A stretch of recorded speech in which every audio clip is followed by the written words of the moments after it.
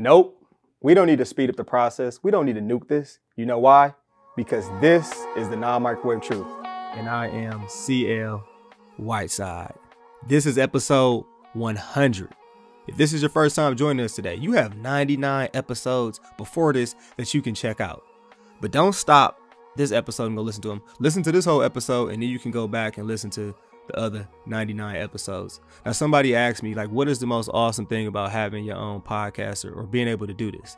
And the number one thing is just the ability and the opportunity to share God's word with people, to share the good news with people.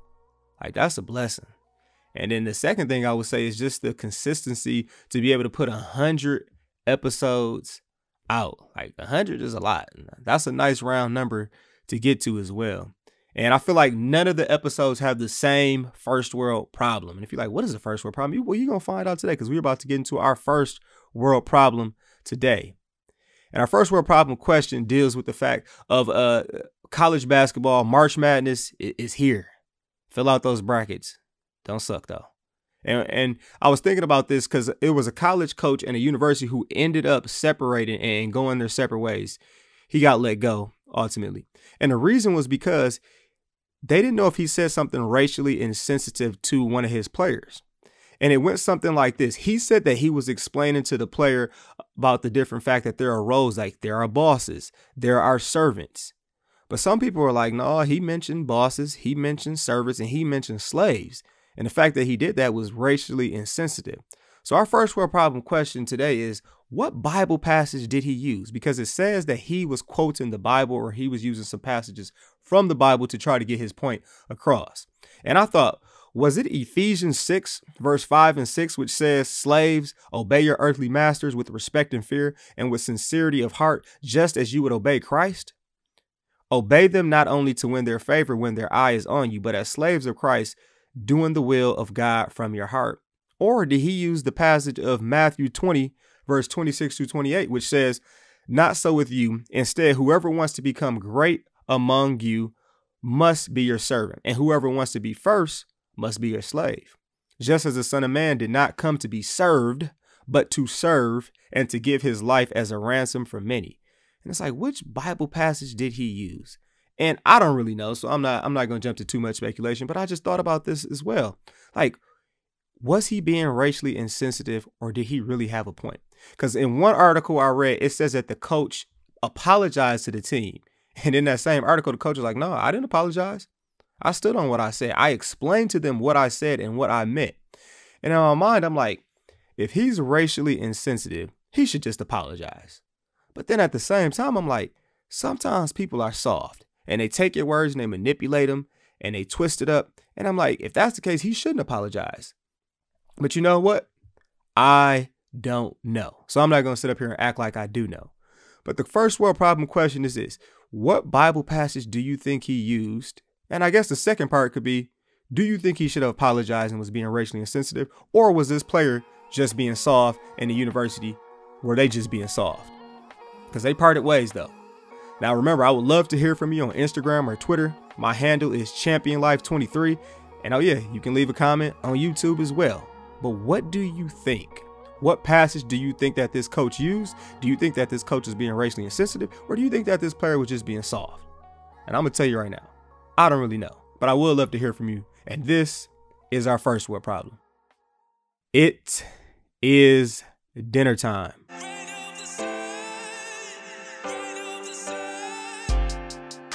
The title of our episode today is This is Annoying. The title is This is Annoying.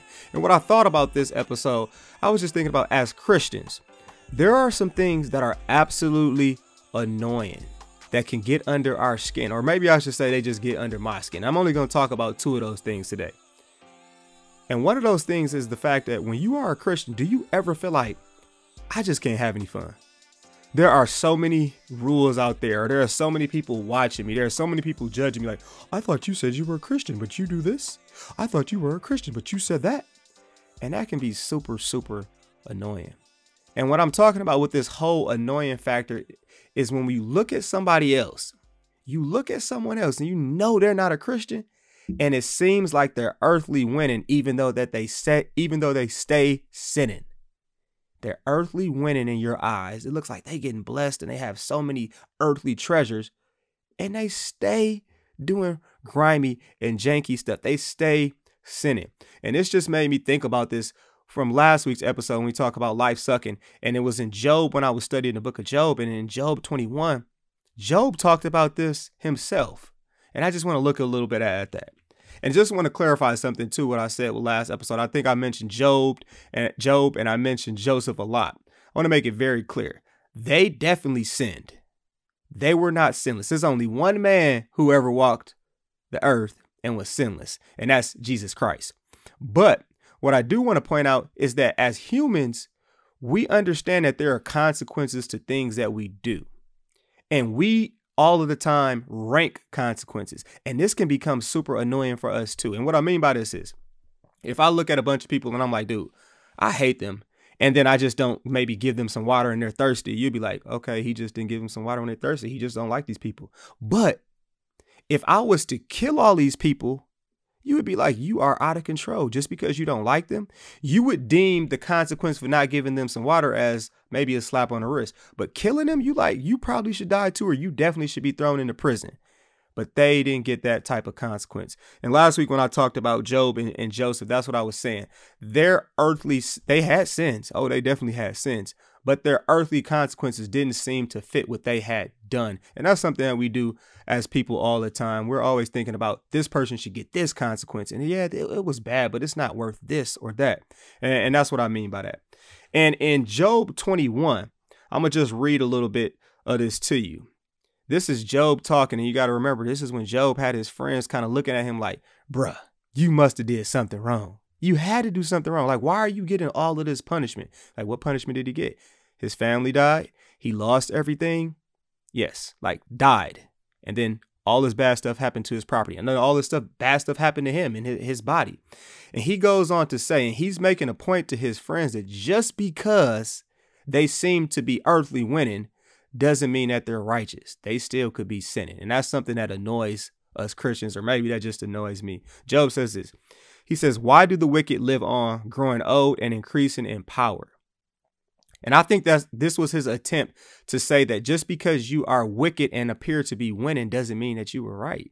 Like if if you can be wicked and winning, then I also could be deemed as righteous or as a good man and seem to be cursed. I think that's what Job is getting at.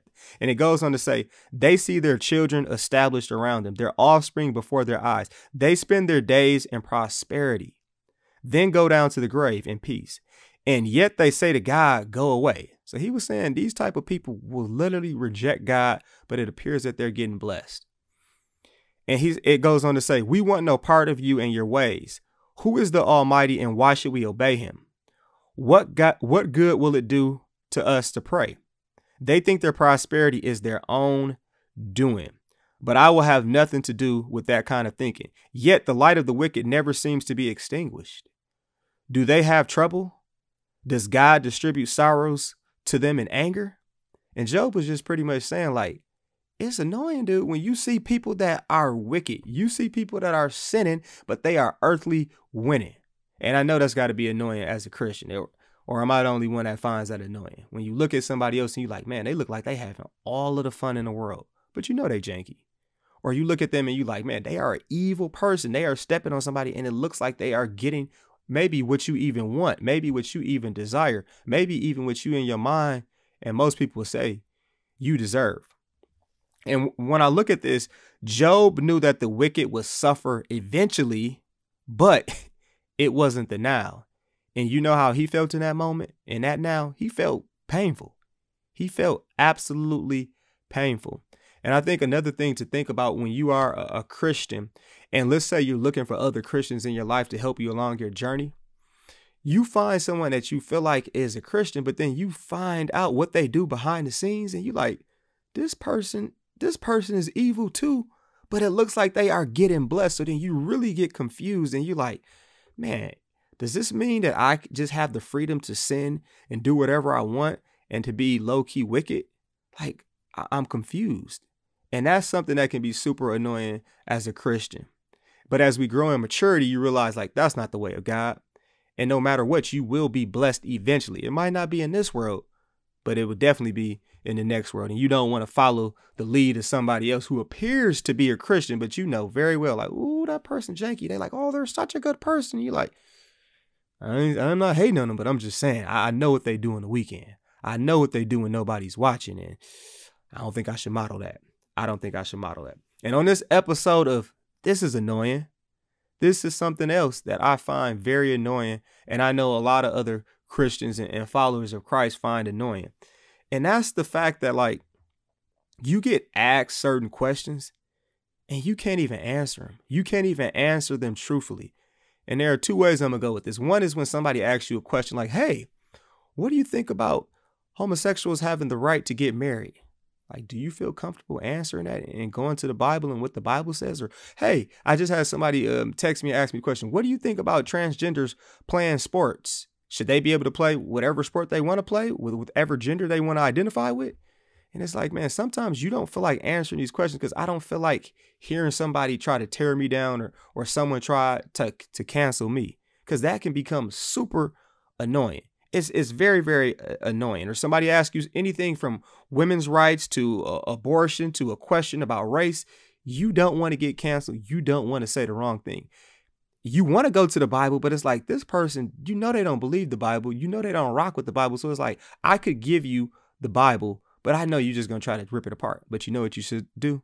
You should still give them the Bible. You should still give them the truth and you should do it with love. But it, that's annoying. That's annoying because it's like, man, nobody got time for that. Nobody has time to be debating with you. But that's when it comes down to just sharing sharing the good news with people because you don't want to get canceled, you don't want to get persecuted. And the other way that this can become annoying is when people ask you questions like that are really actually good questions, but they're not doing it from a good place and they're doing with the intent of trying to make themselves sm- sound smarter or better than God.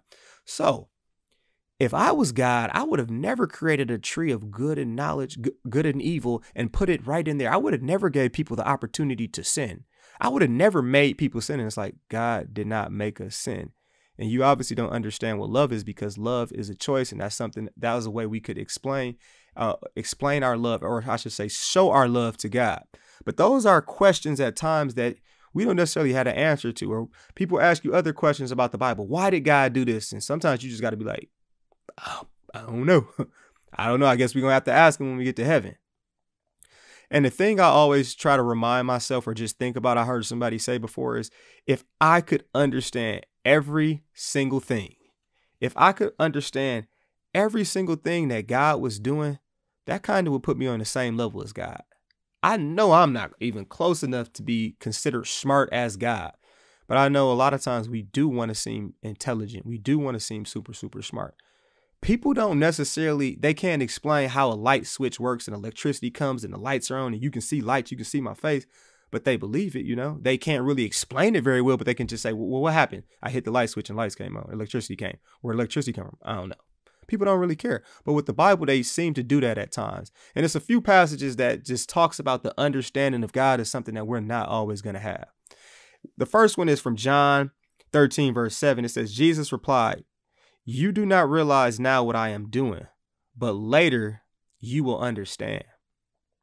Now, the funny thing about this passage is this passage comes from when Jesus is actually washing the disciples' stanky feet. Yes, you, you heard me correctly. He's washing their feet. I don't know about y'all, but I ain't washing nobody's feet. I'm every once in a while I give my wife a foot rub and stuff, but that's because I love her. The rest of y'all, I'm not touching y'all feet. Like I love you, but I'm not touching your feet, man. And this is just reminding us too, we very rarely question God on what he's doing in our life when we feel like it's blessing us. We never are like, God, why do you keep blessing me? I don't deserve this. Every once in a while we do. But how often do we question God when things aren't necessarily going the way that we want them to go? That's just something for you to think about. Another passage is from Philippians 4, verse 7, and it says, And the peace of God, which transcends all understanding, will guard your hearts and your minds in Christ Jesus. And that's just reminding us that God's understanding is the most important thing. We don't necessarily have to understand each and everything because we aren't God. We are children of God. We are we are servant servants of God. But that's what I talk about looking at Jesus's or looking at God's record, looking at his his history. He's a guy who loves us. He's a guy where we don't have to understand everything in order to be blessed, in order for him to have our best interest in mind. We don't. Another one comes from Isaiah 40, verse 28. It says, Do you not know? Have you not heard? The Lord is the everlasting God, the creator of the ends of the earth. He will not grow tired or weary. Like that's a hard concept to understand too. Like your God never gets tired or weary. Then why does he allow this to happen? And why does he do why does he do this? And it's like, do you not understand? This passage just says, Do you not understand? The Lord is everlasting. He's the creator of everything. So he can do what he wants to do. We can't fathom and try to understand him. And that's sometimes when people ask us questions, and you know what? We don't have a good answer, and we just got to say, I don't know. But isn't that scary sometimes to say? Like, I don't know. I don't have the answer for that. But I will try to look for it. I will try to discover it in the Bible. I will hope that God reveals it to me, or more importantly, reveals it to you. But I guess it doesn't matter for those who are trying to ask in a manipulative way or trying to twist or, or take away from, from God's word. And on this episode of This is Annoying, I just have to remind you, and this is more so reminding myself, we have to remember the gospel. We have to remember the good news. We have to remember the grace and the love of God. That is what actually changes people. That's what gets people attention eh, the most. Because at the end of the day, we all have this desire to be better, to be better than the next. But when it comes down to it, we can find comfort in, in, Jesus and what he has done for us and who he is to us and how much he loves us. And we don't have to worry about what we haven't done or what we need to do or, or can't do or we think we can do. It's not about that. It's about what Jesus has done. And I know a lot of us, we really don't have a desire to be corrected. And that's what the law does. The law shows us our sins, it shows us that we need a, a savior. But when you think about this, we all have a desire to be noticed. We all have a desire to be seen. We all have a desire to to be fulfilled. We all have a desire to want to know who God is, no matter what. And the devil can sometimes sneak and lie to us and say, you know who God is? You are God. And that's one of the greatest lies, or you can be equal to God. And that's the farthest thing from the truth. But there are three things that the gospel does for us. And that's why it's so important to hear the good news. It's uh, so important to be reminded of the salvation that we have through Christ Jesus and the faith that he has gifted us with. And the first one is it frees you. It absolutely frees you. The gospel and the grace of God frees you from your past. So despite the things you have or haven't done, you good.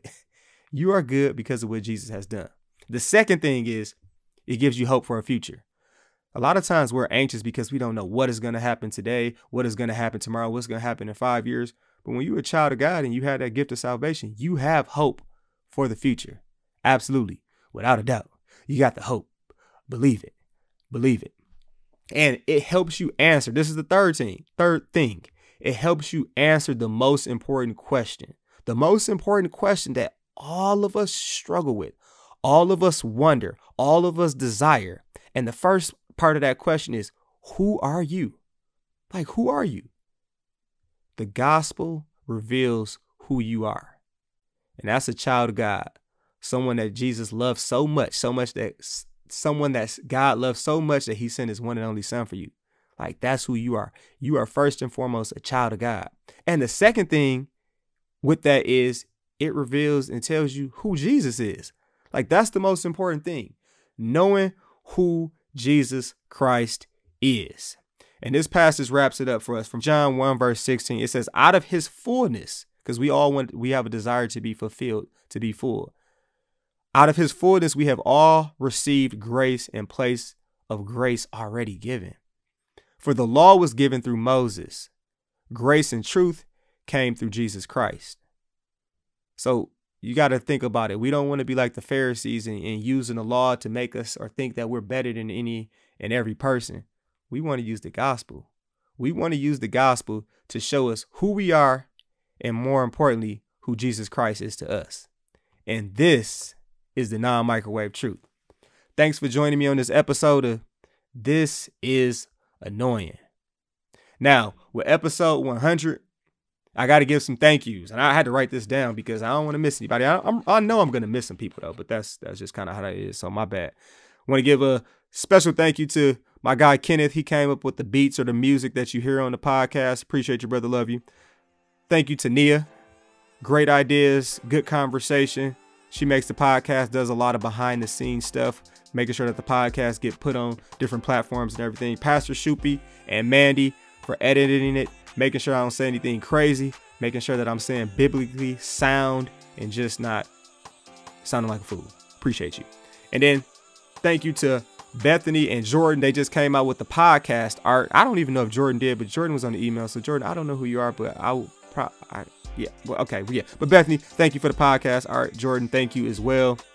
And if you haven't checked out the podcast art, it's new for episode 100. We got some big things coming.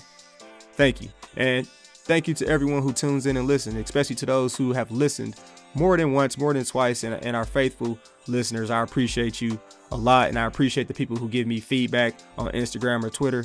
Candy, you the man. Um, yeah, I'm missing some people. Josh, yeah, love y'all all. Peace punch, Captain Crunch. Say no to drugs and yes to Jesus. I am out.